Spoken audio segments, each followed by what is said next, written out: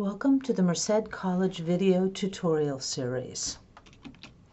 Today we're going to talk about how to format and cite your paper using Word and MLA. I'm Joey Merritt. I'm one of the reference librarians here. Today we're going to talk specifically about your paper. In the next video we will talk about the works cited. Let's talk about how to format your paper so that all the work that you spent researching will look good and showcase all that hard work. We're going to start with how to create a header and number pages.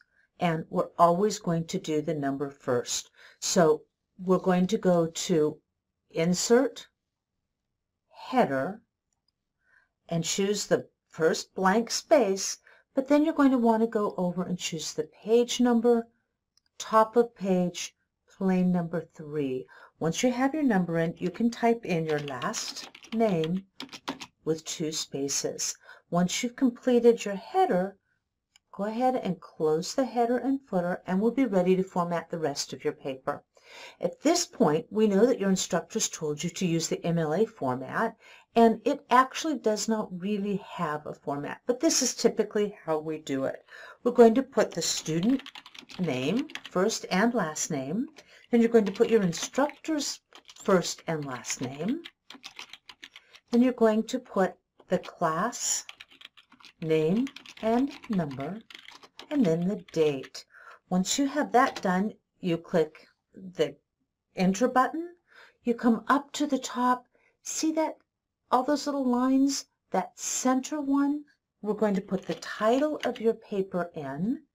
Click the enter and then go back and use that left justify, those lines that all line up on the left-hand side, and that's where you're going to start typing the body of your paper. But you might notice that what we've done is used a different font. Your instructor is going to want you to use not Times New Roman 12. So if you use Control A on your screen, it will highlight your entire paper. From here, we're going to go up to the top, choose Times New Roman and choose the 12 font because that's the right size that you want to do your papers in.